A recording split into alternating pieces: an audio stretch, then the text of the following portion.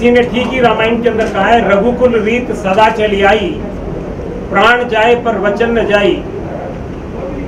जो प्रभु की इच्छा है, होना वही है, वही निश्चित है। हमें हर चीज़ खुशी के साथ करनी चाहिए। आज रामलीला कमेटी ने निर्णय किया कि जो हमारे 22 फिल्मी दुनिया के कलाकार हैं, जो लव कुश रामलीला कमेटी के अंदर अपना किरदार निभाएँगे, रावण के रूप में अखिलेंद्र मिश्र मंदोदरी के रूप में अमिता नागिया, हमारे भोजपुरी सांसद मनोज तिवारी जी इस बार लव कुश रामला कमेटी के अंदर केवट का किरदार निभाएँगे, असरानी जी नारद का किरदार निभाएँगे। इन सब कलाकारों के बीच के अंदर तीन भारत सरकार के केंद्रीय मंत्री फगन सिंह कोलस्ते, निषाद राज का रोल करेंगे। अश्विनी चौबे जी विश्वामित्र का रोल करेंगे। अर्जुन राम मेघवाल जी भजन भी गाएँगे और रोल भी करेंगे।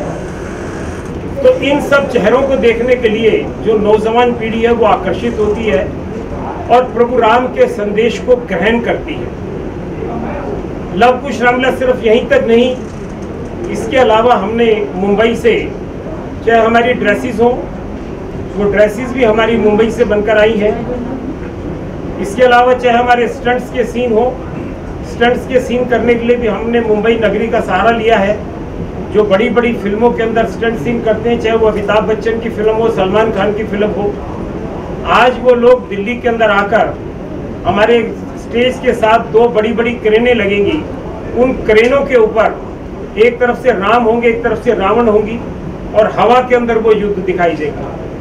जब माँ सीता जी अशोक वाटिका के अंदर बैठी होंगी तो नौ नौ राक्षसी हवा के अंदर आएँगी और माँ सीता को डराएँगी। तो जैसे ही हनुमान जी महाराज नज़र घुमाएँगे तो नौ की नौ हवा के अंदर से दृश्य, अदृश्य हो जाएगी। तो लवकुश रामलीला कमेटी ने ये प्रयास किया है कि इस साल हमने 50 साल पुराने जितने भी अपने अस्त्र और शस्त्र थे, उन सबको भी हमने बदलाव किया है। और तमाम अशस्त्रों के साथ साथ ड्रेसेस भी हमारी नई रहेंगी, ज्वेलरी भी हमारी नई रहेंगी और हाईटेक रामलीला की। हाईटेक रामलीला के अंदर थ्री मैपिंग होगी। दशरथ जी का दरबार लगा होगा तो भव्य दरबार दिखाई देगा। रावण का दरबार होगा तो भव्य दरबार दिखाई देगा। और उस दरबार के अंदर दोनों साइड से जो है रावण के दरबार के अंदर दस दस मशाले जनता को दिखाई देंगी। तो इस किस्म का भव्य रूप एक हाईटेक रामलीला के अंदर हमने दिया है। और जहाँ हमने रामलीला के अंदर 250 लोकल आर्टिस्ट हैं वो रोल करेंगे। बहुत सुंदर डांस की व्यवस्था ये है। रामलीला इस बार दूरदर्शन से भी लाइव जाएगी डीडी भारती से भी लाइव जाएगी और अनेक चैनलों से और आपके चैनलों से भी जो है लव कुश रामला कमेटी देश में नहीं, बल्कि विदेशों के अंदर से यूट्यूब और फेसबुक से ऊपर आप देख सकते हैं। हमने यहाँ सैटेलाइट की व्यवस्था की है, वो भी वैन लगाई है। जो भी मीडिया के हमारे भाई यहाँ पर आए हैं वो कोई भी लिंक लेना चाहते हैं तो उनको लिंक मिल जाएगा जिससे कि वो अपने जहाँ भी वो हैं, वहाँ से उस लिंक के ज़रिए लव कुश रामला कमेटी को दिखा सकते हैं। और भी ज़्यादा खुशी की बात है कि जहाँ दशहरा पर्व के ऊपर हमारे फिल्मी दुनिया के कलाकार कोई ना कोई मेहमान के रूप के अंदर बनकर आते हैं, चाहे वो अक्षय कुमार जी रहे हो, चाहे वो हेमा मालिनी जी रही हो, अजय देवगन जी रहे हो, विवेक ओबराय रहे हो, जॉन इब्राहिम रहे हो सभी हर साल लव कुश रामलीला कमेटी के अंदर दशहरा पर्व पे आते हैं।